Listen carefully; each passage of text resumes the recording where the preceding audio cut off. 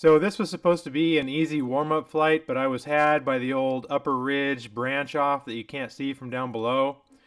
I pretty much knew I was going back behind the ridge, but the video feed was fine until I turned around and then down turned in behind the top of the visible ridge from the road. It felt like the longest video out of my life, and I kept flying without flipping any switches, but then watching it now, it really wasn't all that long. Anyway, praise God, I didn't lose the transmitter signal and go down up there. I would never have gone to find it.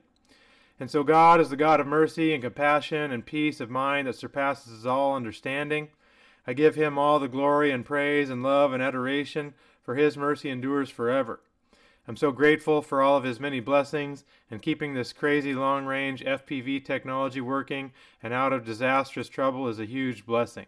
I pray for his mercy on every flight because it always feels like disaster is just hanging in the balance.